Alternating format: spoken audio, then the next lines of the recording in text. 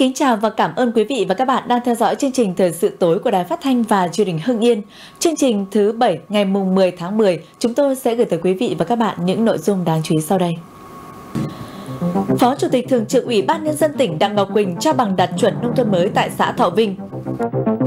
Những chỉ số phát triển kinh tế xã hội Đảng bộ tỉnh Hưng Yên đạt được trong nhiệm kỳ 18. Các diện tích cam ở xã Đồng Thanh bắt đầu cho thu hoạch được nhiều đơn vị đặt mua từ sớm. Vấn đề đảm bảo an toàn cho học sinh trong nhà trường.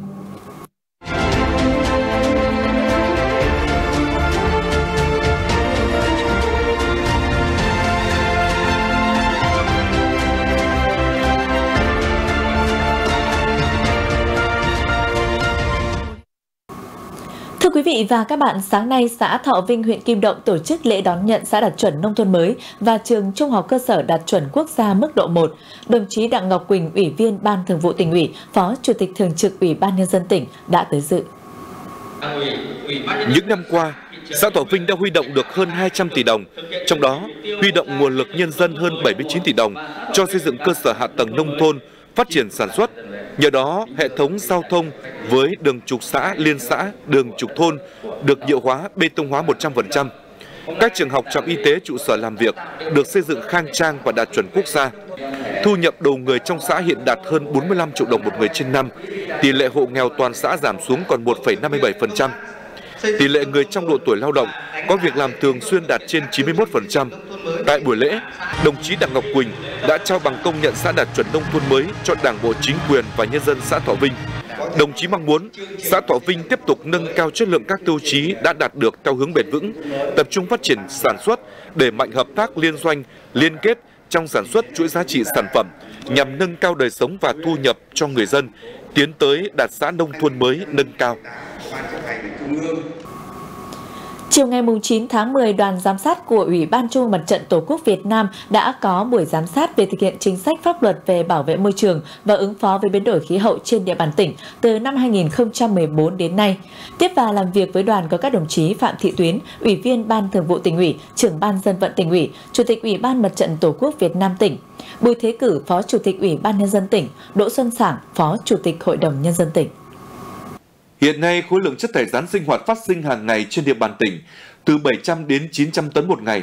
Lượng rác thải sinh hoạt được thu gom, xử lý đạt 76% lượng rác phát sinh. Toàn tỉnh có hai khu xử lý chất thải rắn tập trung đã đi vào hoạt động. Trên địa bàn tỉnh hiện có 329 bãi trôn lấp, 145 điểm tập kết rác thải sinh hoạt được đầu tư, xây dựng. Từ năm 2014 đến nay, các ngành chức năng trên địa bàn tỉnh đã lập biên bản, chuyển đến cấp có thẩm quyền xử phạt vi phạm hành chính đối với 865 đơn vị tổ chức với số tiền hơn 47 tỷ đồng. Tại buổi làm việc, đoàn giám sát đề nghị tỉnh làm rõ những nội dung liên quan đến việc lập quy hoạch, kế hoạch bảo vệ môi trường gắn với phát triển kinh tế xã hội ở Hưng Yên, việc lựa chọn các đơn vị thực hiện công tác thu gom, vận chuyển xử lý chất thải, việc thực hiện phân loại, xử lý rác thải tại hộ gia đình, việc thực hiện chống rác thải nhựa của các cơ quan ban ngành, giải pháp giải quyết tình trạng khai thác cát sỏi trái phép ở một số địa phương, vấn đề xử lý ô nhiễm môi trường làng nghề trong các khu chăn nuôi tập trung. Những vấn đề nêu trên đã được lãnh đạo các sở ngành liên quan trả lời cụ thể. Phát biểu tại buổi làm việc, đồng chí Bùi Thế Cử, Phó Chủ tịch Ủy ban nhân dân tỉnh cho biết, thời gian qua, công tác quản lý bảo vệ môi trường trên địa bàn tỉnh được quan tâm triển khai với nhiều biện pháp giải pháp đồng bộ. Để khắc phục những hạn chế còn tồn tại, trong thời gian tới, tỉnh tiếp tục triển khai xây dựng, nâng cấp một số dự án xử lý rác thải, nước thải sinh hoạt nông thôn, chú trọng nâng cao ý thức của người dân về công tác bảo đảm vệ sinh môi trường. Đồng chí Phó Chủ tịch Ủy ban nhân dân tỉnh mong rằng đoàn giám sát kiến nghị với Thủ tướng Chính phủ về các cơ quan chức năng sớm có phương án xử lý tình trạng ô nhiễm môi trường sông Bắc Hưng Hải. Trên cơ sở ý kiến của các thành viên trong đoàn, tỉnh sẽ tiếp thu và đưa vào phương án bảo vệ môi trường trên địa bàn tỉnh trong thời gian tới.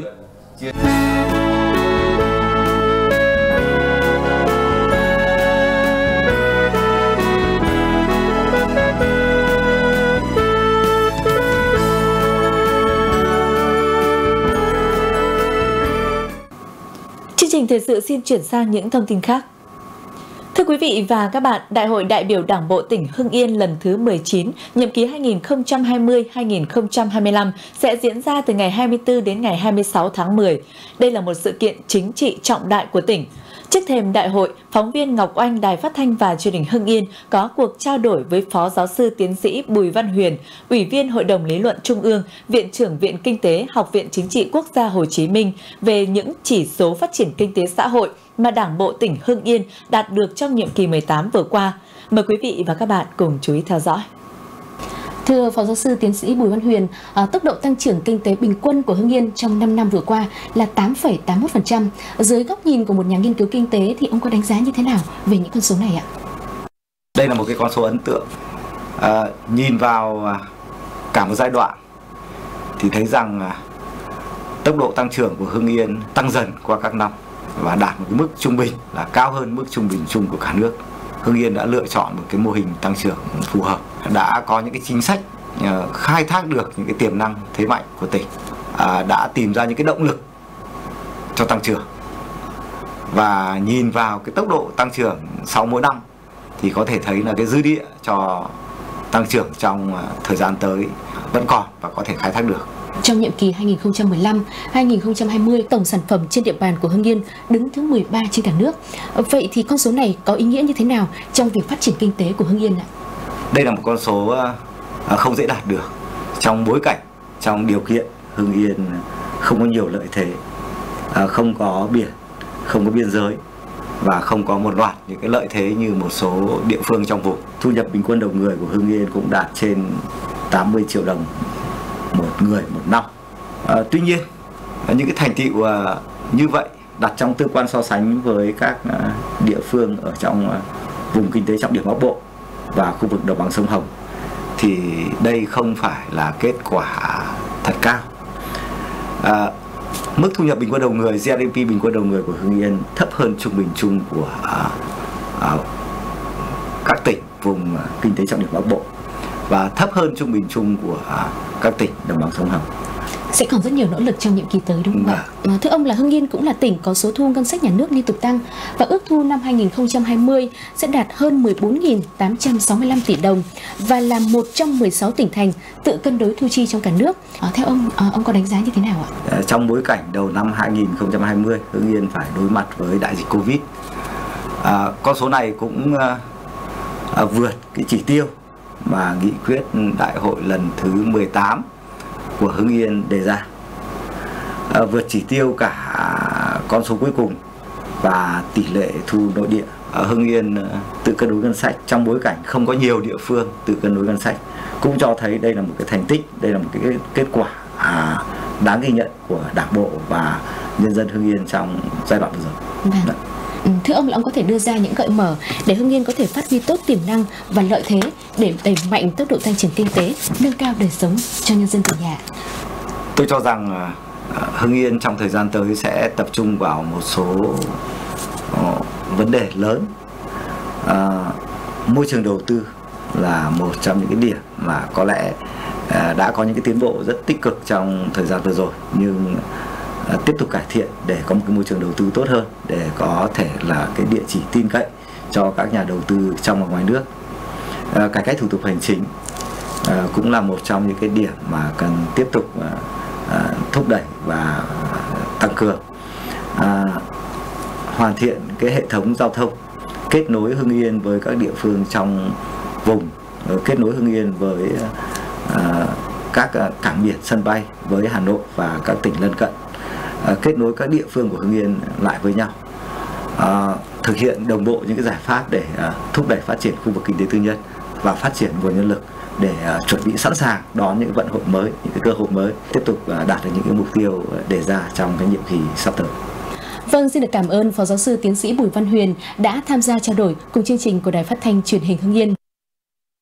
Về kinh tế, Tốc độ tăng trưởng kinh tế GDP bình quân 5 năm từ 7,5 đến 8%, giá trị sản xuất nông nghiệp thủy sản tăng từ 2 đến 2,5%. Chỉ số sản xuất công nghiệp tăng 9 đến 10% năm. Giá trị sản xuất thương mại dịch vụ tăng từ 7 đến 7,5% năm. GDP bình quân đầu người 130 triệu đồng một năm, cơ cấu kinh tế, nông nghiệp thủy sản 6%, công nghiệp xây dựng 66%, thương mại dịch vụ 28%. Tổng vốn đầu tư toàn xã hội giai đoạn 2021-2025 đạt 250.000 tỷ đồng, vốn đầu tư của nhà nước khoảng 15%, vốn đầu tư ngoài nhà nước khoảng 53%, vốn đầu tư trực tiếp nước ngoài khoảng 32%. Thu ngân sách trên địa bàn đạt 21.500 tỷ đồng, trong đó thu nội địa đạt 16.500 tỷ đồng, thu nội địa không tính thu tiền sử dụng đất 14.500 tỷ đồng. Kim ngạch xuất khẩu đạt 8,5 tỷ đô la Mỹ, tăng 9,5 đến 10% năm. Tỷ lệ đô thị hóa của tỉnh đạt 47%, thành phố Hưng Yên đạt đô thị loại 2, thị xã Minh Hào đạt đô thị loại 3, cơ bản đạt tiêu chí thành phố, khu vực phát triển đô thị trung tâm huyện Văn Lâm. Trên địa bàn huyện Văn Giang hiện có 6 làng nghề được Ủy ban nhân dân tỉnh công nhận. Những năm qua các làng nghề ở đây đã và đang có sự chuyển mình mạnh mẽ, góp phần quan trọng nâng cao thu nhập cho người dân. Hiện có khoảng 4.000 hộ với trên 10.000 lao động tham gia sản xuất tại các làng nghề, chủ yếu là 4 làng nghề hoa cây cảnh, cây công trình ở Xuân Quan, Phụng Công, Liên Nghĩa và Thắng Lợi với diện tích trên 200 ha. Thu nhập bình quân lao động làng nghề khá cao, từ 90 đến 150 triệu đồng một người trên năm. Qua đó đã góp phần quan trọng trong chuyển dịch cơ cấu kinh tế tăng thu nhập, cải thiện và nâng cao đời sống nông thôn, góp phần xóa đói giảm nghèo. Được công nhận làng nghề sẽ là cơ sở quan trọng để xây dựng thương hiệu riêng, đặc trưng của địa phương, tạo cơ hội để giao lưu học hỏi, trao đổi nhằm nâng cao về chất lượng, đa dạng hóa về mẫu mã, sản phẩm, đáp ứng được nhu cầu khách hàng trong ngoài tỉnh. Tuy nhiên, với tiềm năng, lợi thế của Văn Giang rất cần có sự vào cuộc tích cực của chính quyền trong việc đầu tư, nâng cấp hạ tầng, áp dụng khoa học kỹ thuật quảng bá, đặc biệt là làm đầu mối kết nối để phát triển du lịch về với làng nghề. Hiện nay, các diện tích cam ở xã Đồng Thanh, huyện Kim Động đã bắt đầu vào giai đoạn chín quả và cho thu hoạch. Nhiều thương lái đã bắt đầu tìm đến đây để đặt hàng thu mua cam. Vụ cam năm nay, xã Đồng Thanh duy trì ổn định trên 210 ha cam trồng đều ở các thôn. Cam ở Đồng Thanh đã khẳng định được thương hiệu trên thị trường với chất lượng quả ngon, vỏ mỏng, vị thơm ngọt đặc trưng. Mặc dù còn khoảng một tháng nữa mới đến thời điểm thu hoạch chính vụ, nhưng nhiều hộ dân đã bắt đầu cho thu hoạch cam sớm, chủ yếu làm quà Giá bán dao động từ 17 đến 25.000 đồng một kg. Hiện nay, các thương lái ở xa như thành phố Hồ Chí Minh, các tỉnh Nam Bộ đã bắt đầu đến tìm hiểu và đặt hàng. Một số diện tích cam Việt Gap cũng đã được các công ty siêu thị tại thành phố Hưng Yên và thủ đô Hà Nội ký hợp đồng thu mua. Huyện Ân Thi đã và đang tập trung đẩy nhanh thi công giải ngân các công trình dự án nhằm sớm đưa vào sử dụng. Năm 2020, huyện Ân Thi có kế hoạch đầu tư công trên 88 tỷ đồng, trong đó nguồn vốn ngân sách tỉnh dự toán giao trên 62 tỷ 600 triệu đồng cho 33 dự án. Đã thực hiện giải ngân đạt 86% so với kế hoạch. Nguồn vốn ngân sách huyện là 25 tỷ 600 triệu đồng cho 24 dự án công trình, trong đó cho 3 dự án quy hoạch đã thực hiện giải ngân trên 22 tỷ 500 triệu đồng, đạt 88% kế hoạch. Ngoài các dự án đã hoàn thành và đảm bảo kế hoạch giải ngân vốn, huyện Ân Thi đang tập trung chỉ đạo các phòng ban liên quan, chủ đầu tư phối hợp chặt chẽ với các đơn vị, nhà thầu, tháo gỡ khó khăn, nhất là công tác giải phóng mặt bằng, đẩy nhanh tiến độ thực hiện một số dự án, nhất là đối với những dự án vừa được khởi công mới. Dự án có kế hoạch vốn lớn như dự án cải tạo nâng cấp đường tỉnh 376 cũ đoạn qua thị trấn Ân Thi, cải tạo nâng cấp tuyến đường DH64, xây dựng khu nuôi trồng thủy sản huyện Ân Thi, xây dựng nhà lớp học, trường tiểu học xã Hồ Tùng Mậu.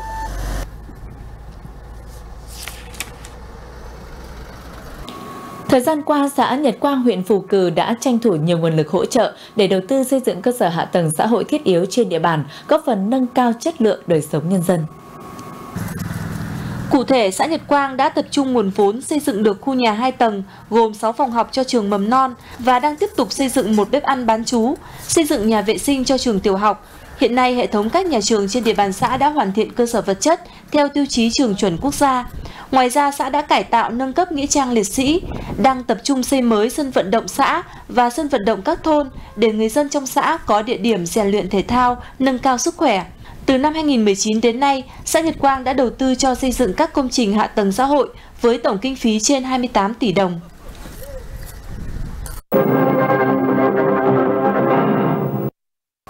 Nhờ sự vào cuộc của cả hệ thống chính trị, sự đồng thuận của các tầng lớp nhân dân cùng với sự chung tay xây dựng tuyến phố văn minh đô thị mà đến nay phường Quang Trung thành phố Hưng Yên trở thành phường dẫn đầu toàn thành phố về xây dựng tuyến phố văn minh đô thị. Để nâng cao nhận thức, trách nhiệm tinh thần tự giác của người dân trong việc xây dựng tuyến phố văn minh đô thị, cấp ủy chính quyền phường Quang Trung đã đẩy mạnh công tác tuyên truyền vận động nhân dân dưới nhiều hình thức như tổ chức các hội nghị phổ biến quán triệt tuyên truyền trên hệ thống loa truyền thanh, nội dung tuyên truyền tập trung vào việc xây dựng nếp sống văn hóa, giữ gìn trật tự an toàn giao thông, trật tự đô thị, vệ sinh môi trường. Chỉ trong 9 tháng đầu năm 2020, phường đã tổ chức trên 40 lượt gia quân lập lại trật tự đô thị, trả lại vỉa hè cho người đi bộ, thu giữ đồ vật, hàng hóa vi phạm, tổ vệ sinh dọn dẹp tất cả các ngày trong tháng, đặc biệt là duy trì hiệu quả phong trào chiều thứ sáu xanh sạch đẹp. Nhờ vậy, 100% các tuyến phố luôn được giữ gìn sạch sẽ, trật tự an toàn giao thông, trật tự đô thị luôn được đảm bảo. Kết quả đến nay, phường đã xây dựng được 7 trên 11 tuyến phố được công nhận danh hiệu tuyến phố văn minh đô thị. Vừa qua, Sở Văn hóa Thể thao và Du lịch Hưng Yên đã tổ chức hội nghị thẩm định hồ sơ đề nghị công nhận bảo vật quốc gia đối với ba hiện vật là sưu tập đĩa vàng hoa sen cộng vũ, hệ thống thành bậc đá chùa Hương Lãng và chống đồng động xá. Sưu tập đĩa vàng hoa sen cộng vũ là hiện vật được sưu tầm tại thôn Cộng Vũ, xã Vũ Xá, huyện Kim Động, hiện đang lưu giữ và bảo quản tại kho bạc nhà nước Hưng Yên.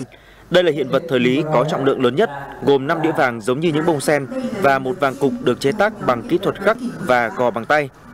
Thứ hai là hệ thống thành bậc đá chùa Hương Lãng do Ban Quản lý Di tích chùa Hương Lãng xã Minh Hải huyện Văn Lâm lưu giữ. Hiện vật gồm 12 thành bậc được bố trí dàn ngang lối lên xuống cửa chùa là biểu tượng đỉnh cao về nghệ thuật điêu khắc đá thời lý. Hiện vật thứ ba là chống đồng động xá được sưu tầm tại cánh đồng thôn Động Xá, thị trấn Lức Bằng, huyện Kim Động và lưu giữ tại bảo tàng tỉnh Hưng Yên. Chống được tạo tác thủ công bằng tay với kỹ thuật đúc đồng tinh xảo. Các chuyên gia nhận định ba hiện vật trên hội tụ những giá trị đặc sắc như là hiện vật độc bản, các họa tiết hoa văn đầy đủ, sắc nét, thể hiện tư duy thẩm mỹ tinh tế và tay nghề bậc cao của những nghệ nhân thời cổ. Vì vậy, hội nghị đã thống nhất ba hiện vật trên cần được hoàn chỉnh hồ sơ trình các cấp có thẩm quyền công nhận là bảo vật quốc gia. Gần đây, ở một số tỉnh thành có xảy ra tình trạng học sinh gặp tai nạn thương tích trong nhà trường. Trước khi đạt mục tiêu học nữa học mãi, thì điều đầu tiên là các em phải được an toàn. Vấn đề này tại tỉnh ta như thế nào? Sau đây là ghi nhận của phóng viên chương trình. Đây là những phòng học của trường Trung học cơ sở Toàn Thắng và chỉ vài tháng trước của năm học 2019-2020, những phòng học này vẫn là nơi học tập của hàng chục học sinh. Đã không ít lần trần nhà chóc nở rơi xuống, may mắn là không rơi vào người học sinh. Những mảng tường dạn nứt chơi cả lõi thép bên trong. Những ngày mưa, hết chỗ này đến chỗ khác bị nước mưa rơi xuống. Ở trên đấy sợ tại vì ờ, ở trên đấy có những lúc có những đống bị lứt chúng cháu sợ nó bị sập và rơi vào người chúng cháu. Cầu thang cũng có lúc rất là trơn. Thì đi cũng có khi có vài bạn trượt ngã cháu cũng sắp trượt ngã một lần rồi. Những ngày mưa to thì nó rột rất là nhiều. Thứ hai nữa là uh, cái phần bê tông thì cái khả năng chịu lực nó đã rất là kém rồi. Và nếu trong tình trạng mưa lâu ngày hoặc là gió lớn thì rất là nguy hiểm cho học sinh. Có nguy cơ là đổ hoặc là có nguy cơ là cái phòng học nó không chịu được được cái cái cái sự tác động thì có thể là gây mất an toàn cho học sinh. Bàn ghế kê san sát tình trạng đang diễn ra tại trường tiểu học Văn Nhuệ. Theo quy định, những lớp học có sĩ số trên 30 học sinh thì diện tích tối thiểu phải đạt trên 40 m2. Nhưng thực tế, những phòng học này có diện tích chỉ khoảng 20 m2. Chưa kể những mảng tường dạn nứt, bong chóc có thể đổ sập xuống bất cứ lúc nào, tiềm ẩn nhiều nguy hiểm cho học sinh. Bây giờ thì sợ nhất là cái những lúc mà mưa to, gió lớn và bão bùng nó xảy ra thì có thể là những cái tường này nó nó xây lâu rồi không đảm bảo. Thế còn cái nền thì nó cũng đã lún và mái thì cũng đã làm lại rồi. Đấy thì là ừ, đấy là những cái điều kiện không đảm bảo cho các cháu. Những vụ mất vệ sinh an toàn thực phẩm, tai nạn đuối nước, bạo lực học đường, cháy, nổ, điện giật đang trở thành nỗi ám ảnh của nhiều phụ huynh. Mặc dù các quy định về môi trường an toàn trong giáo dục đã được cụ thể hóa và triển khai xuống các trường học. Để đảm bảo an toàn cho học sinh, ngành giáo dục cần tăng cường tuyên truyền nâng cao nhận thức, trách nhiệm của các cơ quan quản lý, cơ sở giáo dục về phòng chống tai nạn thương tích. Bên cạnh đó, cần đẩy mạnh công tác giáo dục kỹ năng sống cho các em để chủ động phát hiện các yếu tố nguy cơ tiềm ẩn, những nguy hiểm trong sinh hoạt hàng ngày để từ đó bản thân chủ động phòng tránh hiệu quả.